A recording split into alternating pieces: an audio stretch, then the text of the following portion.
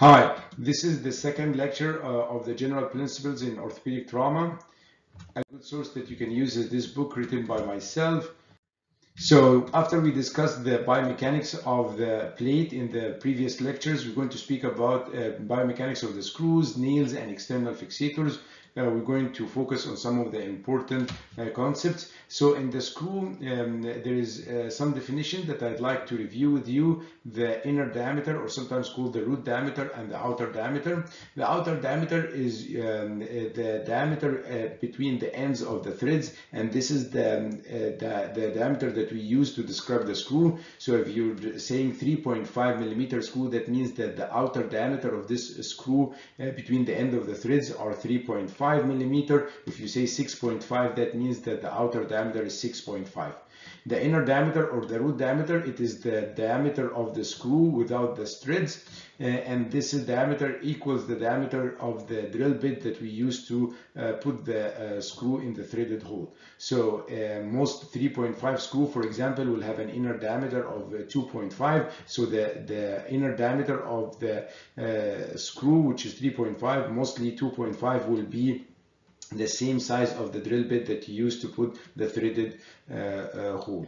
So the screw have an outer diameter, inner diameter. Outer diameter is the diameter uh, between the ends of the threads. It's this is the the diameter that we use to describe the screw 3.5 or 4.5 or 4.0. That all this means that this is the diameter between the ends of the screw. The inner diameter is the diameter without the threads, and this is the diameter that we use for the drill bit.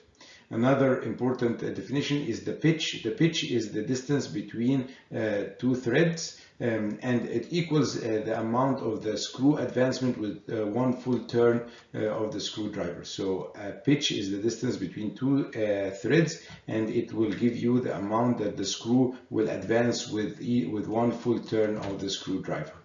An important concept in the screw construct is the screw pull out strength. Um, the screw pull out strength means how much strength is needed to pull the screw out of the bone. Uh, this is important because the higher the screw pull out strength, that means that this is a more stable construct uh, and this construct can tolerate more uh, um, stresses before uh, uh, failing. The most important factor in the screw pull out strength is actually related to the bone quality. So patients who have good bone quality will have a good screw pull out strength. Patient with osteoporosis um, will have a low screw pull out strength and the construct will not be as stable. Uh, some of the uh, factors that uh, under control in the screw pull out is the amount of the bone that underneath the threads. So how do you increase the amount of the bone under the threads? The, if you have a larger diameter means that the, the, the, threads will be protruding more and smaller inner diameter that also will make uh, the threads uh, protruding more. Uh, you will have more bone under the threads. And of course, if you have a smaller pitch, that means that we will have more threads and that you will have bone, bone, more bone underneath these threads. So how to increase the screw pull out strength? Larger it, means increasing the bone under the threads. So you uh, you if you use smaller inner diameter and larger outer diameter and uh, less um, uh, fine pitch means a smaller distance between the threads you will have more bone as you will have more screw, uh, threads protruding the uh, shaft of the screw will be um, less so you will have more bone in this area and you have more threads because the pitch is finer and so you will have more bone uh, in, in, between the threads. Uh, now we speak about the biomechanics of the nail. Uh, biomechanics uh, of the nail, there are uh, some important concepts. Uh, both the bending and the torsion rigidity of the nail is related to the fourth power of the diameter. What does this mean? Means, uh, for example, if you double the size or uh, double the diameter of the nail, uh, the bending and the uh, torsion rigidity will increase 16 times because it's 2 multiplied by 2 multiplied by 2 multiplied by 2, so 4 times. That will give you 16 times more bending and torsion rigidity.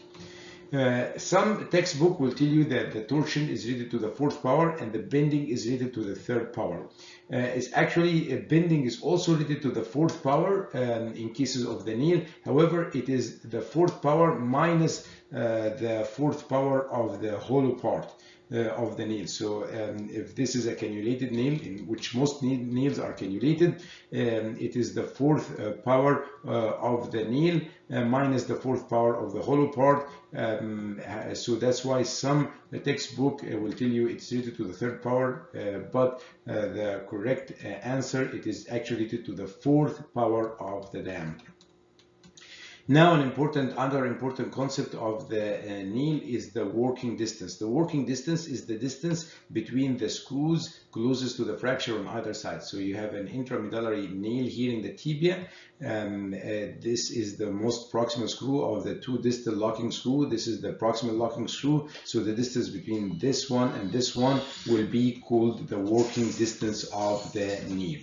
Uh, the larger working distance will give you less stiff the, the, if the working distance is smaller means that the locking screw are closer to the fracture that will give you a more rigid construct. So in order for you to have a less rigid nail construct the working distance of the nail has to be larger means that the, this, the screws has to be uh, further away from the fracture. Um, so how to make less rigid nail? Two of these concepts we discussed before. Less thickness, of course, we said the diameter the, uh, of the nail uh, um, is related to stiffness. Uh, uh, the stiffness is to the fourth power. Uh, the bending and torsion stiffness is to the fourth power. So uh, the less thickness of the nail, the less stiff is the nail. Uh, another thing also we discussed is the working length, the um, uh, larger working distance, uh, meaning the further away the screws are, uh, the um, less rigid is the nail. Titanium nail are less rigid than stainless steel nail.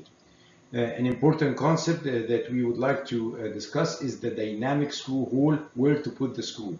Uh, this picture is from the AO website. Uh, so you have a fractured tibia here. Uh, this fracture is a little bit displaced, so you want to apply uh, a screw uh, in the dynamic uh, hole in the dynamic motion. Um, the simplest way to remember, it has to be away from the fracture. So this is at the proximal part of the nail. So to be to put this screw in the correct, it has to be away from the fracture, meaning it has to be in the upper part of the hole or the proximal part of the hole as it applied here. So in order for you to apply a screw uh, in the dynamic uh, mode, you have to put it away from the fracture, away from the fracture. Like this example, this nail here, the fracture is here, and you're putting the screw away from the nail. And you will see now once the patient starts moving and putting weight, this fracture um, will collapse. How it will collapse by the nail going up. When the nail go up, uh, the screw, you can see here the nail went up in relation to the uh, position that was put. Um, so uh, the nail, the screw now became in the lower part uh, of the hole. Um, the screw did not move. What moved is the whole nail and if you see here the screw did not move the nail went up. So the screw relation to the hole changed from the uh, upper part of the hole to the lower part of the hole. So in order to apply the screw in the dynamic fashion it has to be in the upper away from the fracture. So in this example it will be in the upper part of the hole. After it collapses it will be now close to the fracture which is the lower part of the hole we're going to speak now about biomechanics of external fixator and how to make an external fixator more rigid. Uh, there are factors related to more rigid external fixator related to the pins and to the rods. Uh, for the pin, uh, it's the pin diameter, uh, number of the pins, uh, spreading the pins into the, each fragment, um, the closer pin to the fracture. Uh, so, uh, for example, here is the distal uh, part of the fracture. Um, uh, when you apply the pins in a spread fashion, uh, that will give more rigid fixation. Uh, the closer the pin to the fracture from either side, that will give all, more, also a more rigid fixation.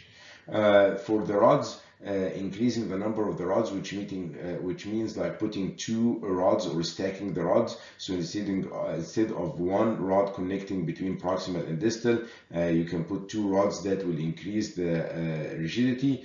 Um, getting the uh, rod closer to the bone, which basically mean putting the rod closer to the skin, also increase the rigidity. However, um, you have to make sure that there is enough space between the rod and the skin to allow for swelling Uh, uh, also thicker rod uh, is more rigid than thinner rod and of course multi-planar fixation in both the rods and the pins will give more rigid fixation. So to obtain more rigid external fixator, pin factor, increasing the pin diameter, increasing the number of the pin, spreading the pin in the fragments, and uh, uh, putting uh, the pins closer to the fracture on either side. For the rods, uh, increasing the number of the rods, meaning uh, using more than one rod, decrease the distance between the rod and the bone, uh, making the rod closer to the skin, thicker rods, and multiplanar fixation. Uh, the most important factor among all this is the diameter of the pin. It has exponential effect. However, in general, uh, we don't go for a much larger uh, pin diameter uh, because uh, this has the adverse effect of uh, um, increasing uh, the stress riser uh, because a bigger hole has to be drilled into the bone. so despite that this is the most important factor in the rigidity, usually we try to stay away from the larger pins like 6 millimeter pins, um, especially in the diaphysis because it can cause two fractures due to stress riser. The factors that are related to increasing the rigidity of ring external fixator is very similar to uh, the ones for the regular fixator. Uh, so increasing the number of points of fixation, either half pin or wires, um, uh, one thing specific in the ring fixator is tensioning the wire. Tensioning the wire means that you tighten the wire from one side and then on the other side you pull on the wire with a specific device called the tensioner so you make your wire tensioned and that will make your fixation stronger. Um, uh, um, lowering the size of the ring is exactly the same as bringing the rod closer to the bone because when you lower the size of the ring it will be closer to the bone. Um, uh, wire spreading the points of fixation into the signal uh, and putting some wires and pins closer to the fracture. Also, this will make your rigid fixation. Uh, stacking the uh, rings means that you instead of putting one ring, you put two rings on each segment, and also increasing the number of the connections between the rings on each side. All these will increase the rigidity of the of the ring type of the external fixator, and as we said, it's very similar to the regular external fixator. The only one which is specific for the ring fixator is tensioning the wires. Other important uh, aspects of the biomechanics of the external fixator uh, is related to the pin. Uh, we call this usually half pin because it does not cross to the other side of the bone um, uh, the half pin uh, when it's uh, coated with the, the, thread when the threads are coated with the hydroxyapatite that actually increase the fixation of the pin inside the bone. It increases the torque needed for the extraction. And actually it has another advantage. It decreases the loosening that happens after pin tract infection. So um, half pin like this one Uh, you, uh, the threads can be covered with HA um, uh, hydroxyapatite and this will increase the fixation of the pin to the bone um, and increase the torque needed for extraction and also will decrease the amount of loosening that happen with pin tract infection. Uh, the weak point of uh, the half pin or this area, uh, the junction of the shank with the threads. Uh, that's why it's advised that this area uh, to be buried inside the bone um, uh, and it will increase the stiffness of the pin. So it's advised that the threads, you don't just put like a part, mm, part of the threads into the bone, that you put all the threads into the bone and have the junction between the thread and the shank buried into the proximal cortex so to, to the stiffness of the pin. Um, uh, so you, it's advised not to have a very long threads in a, a small cortex because that will have uh, this area outside the body and it can break. Thank you for uh, listening to this lecture and following my channel and there will be more lectures uh, for other topics in uh, orthopedic.